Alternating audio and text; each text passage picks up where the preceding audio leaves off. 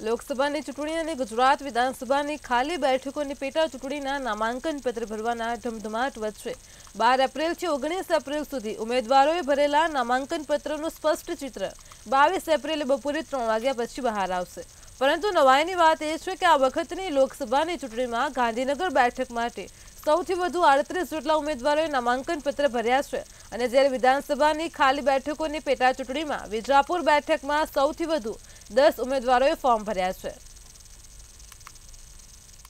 અને વિધાનસભાની પેટાચૂંટણી માટે થર્ટી સેવન એટલે કે સુડત્રીસ ઉમેદવારો દ્વારા ઉમેદવારીપત્રો ભરવામાં આવેલા હતા જેમાં સૌથી વધારે ગાંધીનગર લોકસભાની બેઠક ઉપર કુલ અડત્રીસ ઉમેદવારો દ્વારા ઉમેદવારી પત્રો ભરાયા હતા જ્યારે સૌથી ઓછા પાંચ ઉમેદવારી પત્રો બારડોલી બેઠક ઉપર ભરાયેલા હતા